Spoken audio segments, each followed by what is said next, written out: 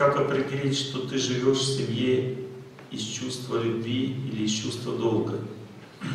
Хорошо. Поймите, что любовь это очень высокая вещь. Любовь настоящая развивается, когда у людей появляется взаимность. Взаимность это когда два сердца уже чисто открылись друг другу. То есть это нужно время. Сначала человек просто служит близкому человеку, пробиваясь к его сердцу. То есть происходит постепенное а, увеличение благодарности у того, кто принимает служение. Со временем тот, кто принимает служение, начинает чувствовать такую сильную благодарность, что возникает взаимное чувство такое благодарности уже становится явным. Человек реально делает выводы, что у меня необычный человек, очень хороший человек со мной рядом живет. Но только после того, как он сам начнет служить уже, а не пользоваться, только с этого момента начинается любовь. То есть любовь это взаимное чувство, оно не может быть односторонним.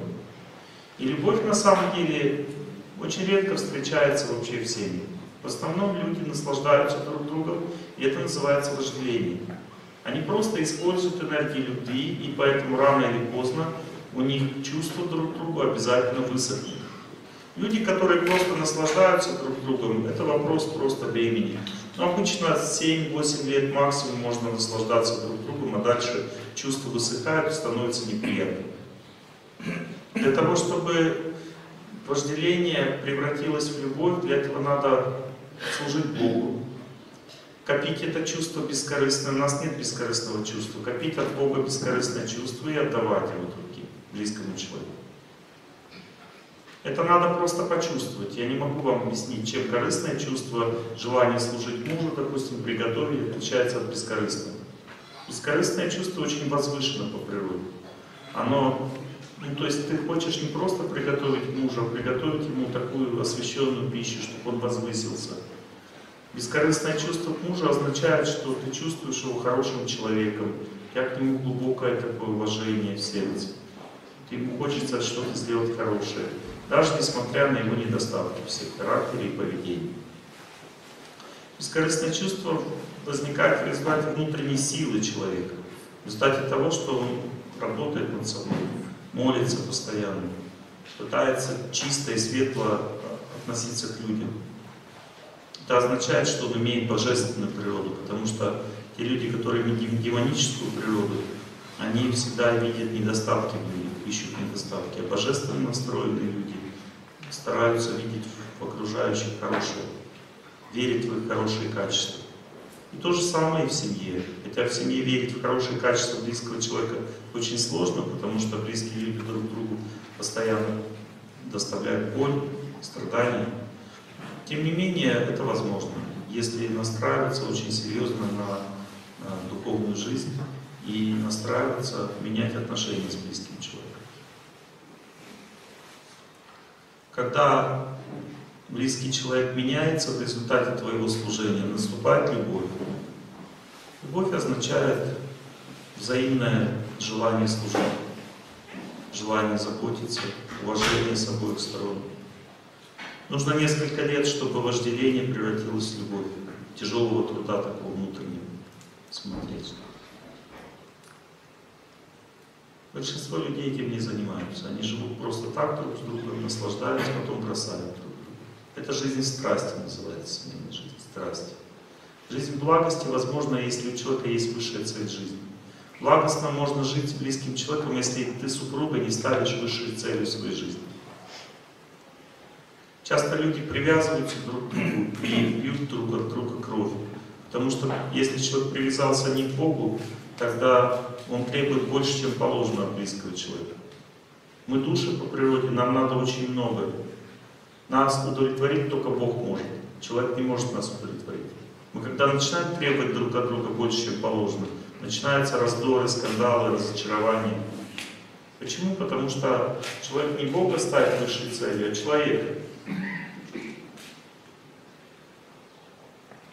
Это все просто теория для вас. Если вы начнете думать о Боге, молиться, служить, тогда это все превратится в практику. Вы поймете, как любить Бога, учиться, как правильно относиться к близкому человеку. Понимаете, проблема заключается в том, что вкусы отношений бывают разные. Бывает вкус супружеской любви.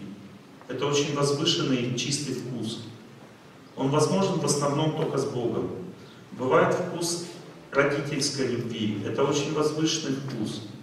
Он тоже как бы труднодоступный для человека. Бывает вкус дружеской любви.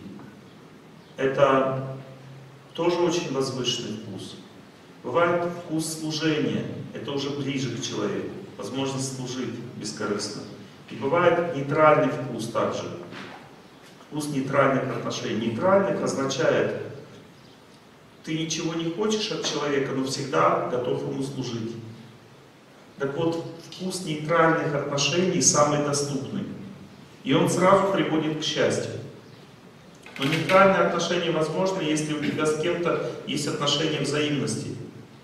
Если у тебя нет, допустим, отношения взаимности с Богом, если ты Богу не молишься, Ему не служишь, то ты не сможешь быть удовлетворен в жизни, потому что всегда нужна взаимность, отдача. Но если говорить о супружеских отношениях, то там никогда никакой любви не бывает. Бывает только взаимное желание эксплуатировать друг друга, которое максимально выражается в половом желании, желании секса. Женщина во время секса испытывает чувство обладания и как бы собственности, когда она обнимает мужчину. А мужчина чувствует желание эксплуатировать женское тело, то есть он находится в таком состоянии желания наслаждаться женским телом. Женщина наслаждает облад... чувством обладания. Это эгоистические чувства как у того, так и у другого. И э, ничего общего с любовью это вообще не имеет. Это иллюзия думать, что это все любовь. Любовь между мужчиной и женщиной начинается с нейтрального вкуса. Желание служить и ничего не иметь взамен. Один мой знакомый рассказывает, что он пришел к духовному учителю и сказал, я уже своей жене и это простил, и это, и уже от нее ничего практически не хочу, а только служу ей. И у меня пропал интерес к личной жизни. Говорит, мне уже ничего не надо, я ко всему привык уже. Все припабахи ее я уже терплю. И у меня как бы ну, нет никакой необходимости уже вообще как бы жить с женщиной, потому что я все принял. Он говорит, вот теперь ты будешь счастлив в личной жизни.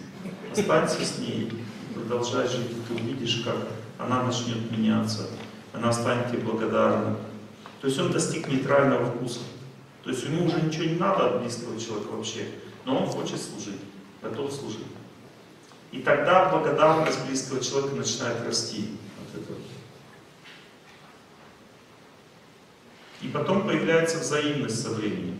Эта взаимность приводит к следующему вкусу, вкусу служения, вкусу слуги. Ты становишься не нейтрален по отношению к близкому человеку, а, а хочешь ему служить, и он хочет тебе служить. Взаимное служение наступает. Но супружеская любовь по факту настоящая возможно только с Богом. Когда люди пытаются вкус супружеской любви эксплуатировать в отношениях с другим человеком, это вызывает жуткие страдания.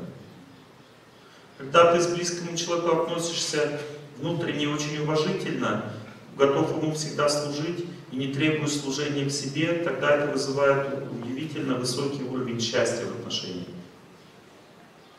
Конечно, ты воспринимаешь супругом близкого человека, но, понимаете, супружеские отношения настоящие возможны только в духовном мире. Это очень сильные энергии, там очень сильная энергия в них. И человек не может выдержать эти энергии супружеской любви, настоящей. Когда по-настоящему супружеская любовь рождается, очень сильная в сердце у кого-то,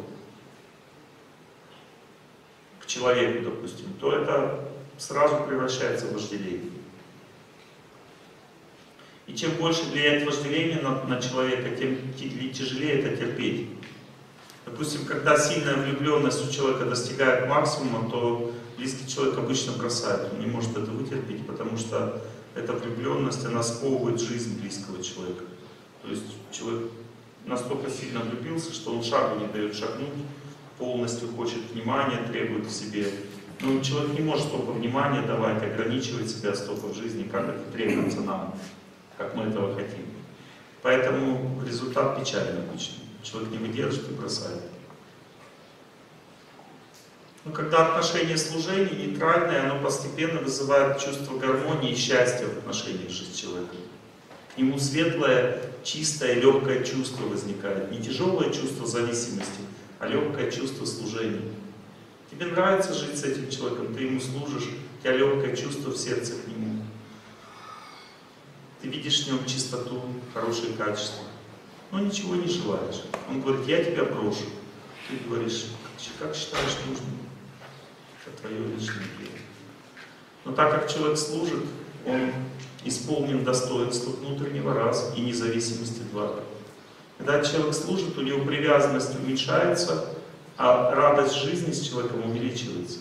Когда человек эксплуатирует другого человека, то он увеличивается привязанность и зависимость от него. Когда мне говорят, я тебя брошу, я говорю, как считаешь нужным. Человек не может бросить, потому что он, ну, он скован благодарностью. Ну, то есть человек хочет бросить, но он чувствует, что это неправильно, потому что тот человек старается для него, служит, любит его, заботится. Как такого человека можно бросить? Это чувство благодарности, оно сковывает, не дает возможность бросать. Даже если человек духовно не развит. Но когда люди не служат друг другу, их сковывает привязанность друг к другу. Эта привязанность, она действует, пока не, не остывает хотя бы один из близких людей. А остывать придется, потому что так действует карма. Когда один из близких начинает остывать другому, то у него привязанность, она превращается в антипатию, отторжение. И тогда он бросает. Он уходит от того человека, которого сердце его отторгает.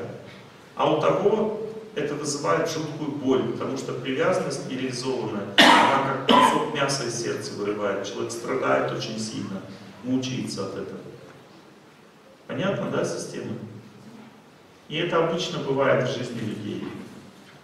Возможность наслаждаться другим человеком ограничена по времени. Если люди не начинают развивать правильные отношения, отношения служения и возвышенной любви, если они не служат Богу, если они не передают эту чистоту близкому человеку, то рано или поздно отношения разрушаются. Это неизбежно. Раньше в древней культуре отношения не разрушались у таких людей. Люди жили из страха, что их отвергнет общество вместе. Но гуляли при этом.